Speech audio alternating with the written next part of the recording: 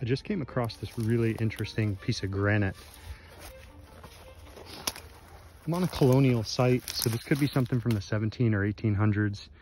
This thing is huge. I mean, that carved circle in the granite here, that thing's got a diameter of probably about three feet. I mean, this piece of stone itself is, I would say, over a foot thick. Um, and I don't know, it's just looking in the side over here. I wish I had a flashlight, but it's definitely hollowed out underneath. Like, I don't know if maybe they used this stone to cover a well so nobody would fall into it. But um, from the research I've done, this looks like this is some sort of either limestone for like a soap making process. This shallower channel looks like it's maybe two inches wide by about an inch deep. Um, the slow leaching process, uh, they would basically take a 55 gallon drum, fill it with hardwood ash, and put it on top of this and over time let the lye leach out of it. It would catch around in this channel that's carved around it and it would run down the side into a catch basin through that right there which is another channel carved right into the side. You can also see a drill mark over here i don't know what what the drill mark would be for maybe some sort of anchor. Um, but you could definitely see the stones had a lot of use and it's you know whatever was done to it was done a really long time ago. Um, another option could be a cider press um, but i think that that groove might be a little shallow for a cider press from what i've read. Um, typically those are deeper because the volume of fluid coming out of them is is going to be more. So really cool stone haven't come across one of these in the woods before it was all covered in weeds i had to sort of clear it out to get a good video brush it off if you like seeing stuff like this, like the video. If you've seen something like it or you have ideas what it might be, feel free to leave a comment. Also, if you like, if you want to see more stuff like this, subscribe to my channel. I'm going to go over stone walls. I've got tons of other types of stone structures I've come across over the years that I'm going to go back to and do videos on. So I found another little stone structure here. You could see this one's square and it's quite small. And it's maybe three feet by three feet. I don't know what sort of foundation would be this small. Certainly have never found one like this before. Maybe a small silo of some sort. Stones are packed in there pretty tight. Let's go inside for a little look. Lots of trash, assuming from over the years You could even see that they, looks like there's some mason, masonry work. So this may be a little bit later, maybe late 1800s. They wanted to keep this sealed, keep moisture out maybe. So this, this could have been some sort of, sort of grain silo.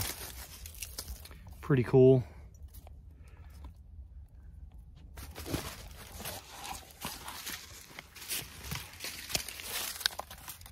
The different sides, masonry work.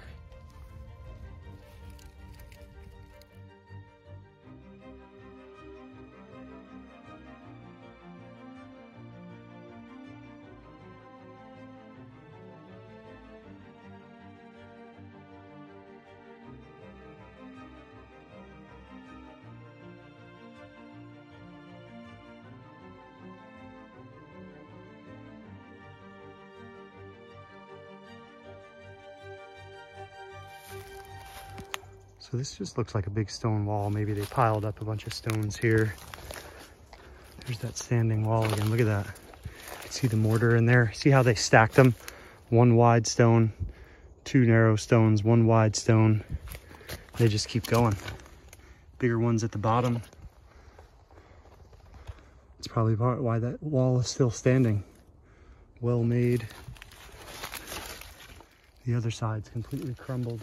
So standing inside this structure here, look at that. Same wall. Looks like the wall collapsed here.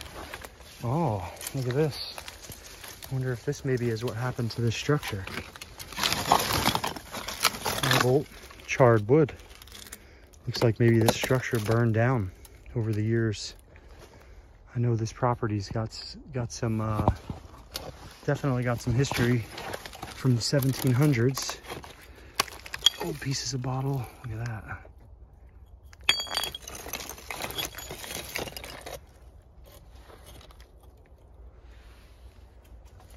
Oh, there's another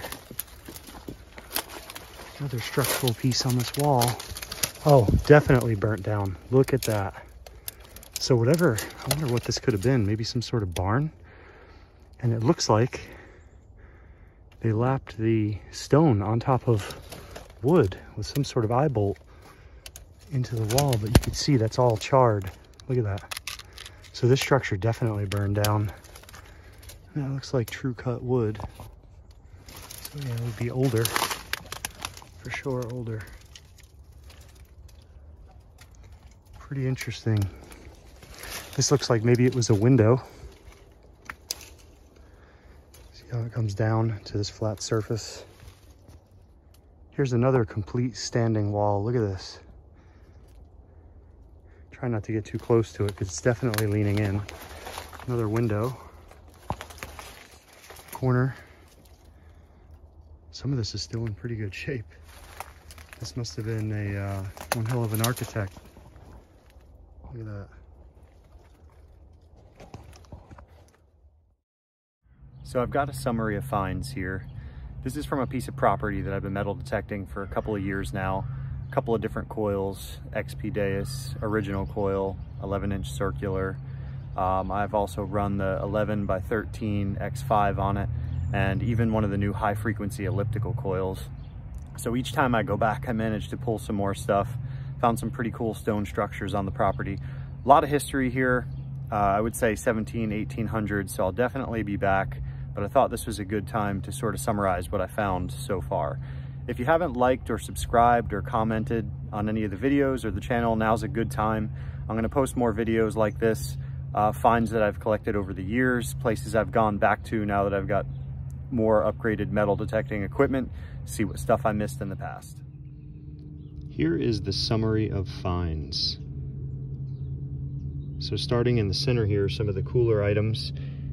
Take a look at that in the center. I think that's a watch fob and it has W.H. Taft on it, who was the President of the United States, the 27th President of the United States.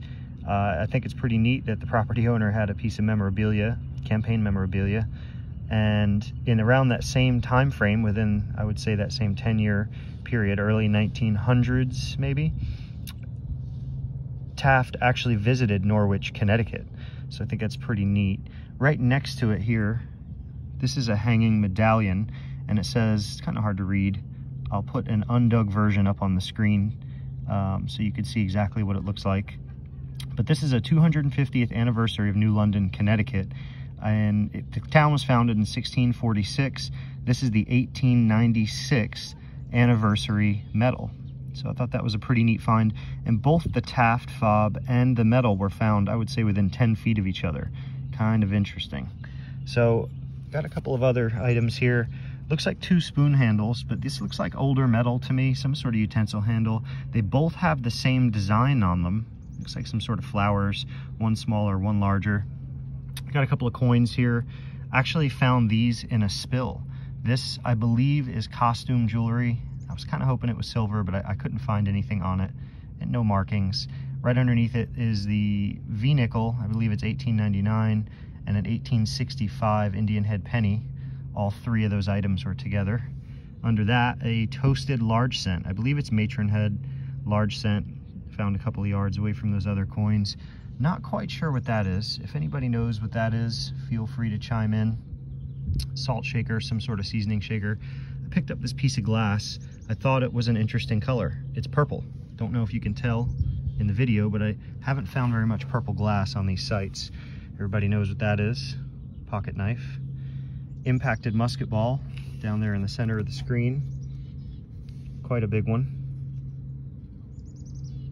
Smaller musket ball next to it.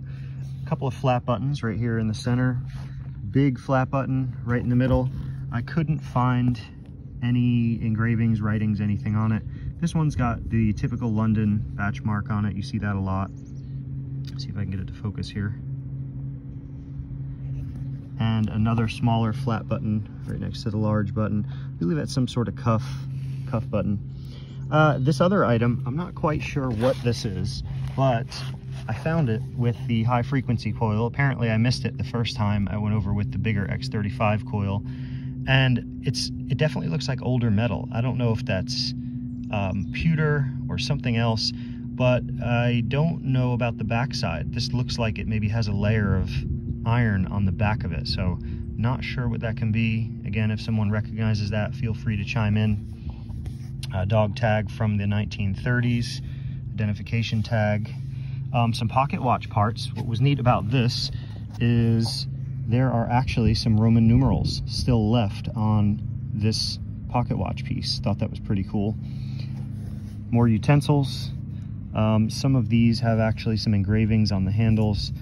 I don't know if that's something to do with the brand or possibly the owner. Not quite sure. This older piece of metal, not sure what this is either, but it looked old. So I thought I'd throw it in here.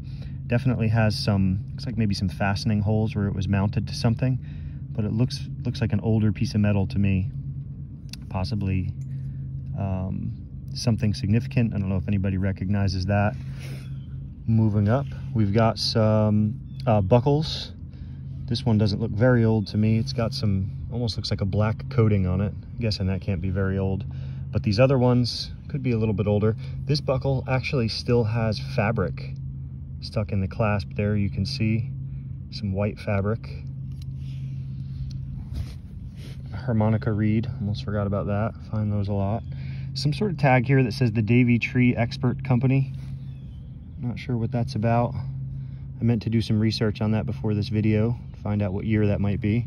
Next is a, looks like maybe a compact um, lid or little closure piece. That's all I found. Unfortunately, no fabric, no leather, no coins in that one. So that's what I found on this property so far, along with the other stone structures that you saw in the video. Um, stay tuned. Again, if you haven't subscribed, click that subscribe button if you'd like to see stuff like this, if you want to keep track of this piece of property and what I pull off of it. Tune in for the next video and thank you. If you'd like to see more videos like this, hover over that circle on your screen and click the subscribe button. Make sure you also turn on notifications by clicking the bell icon.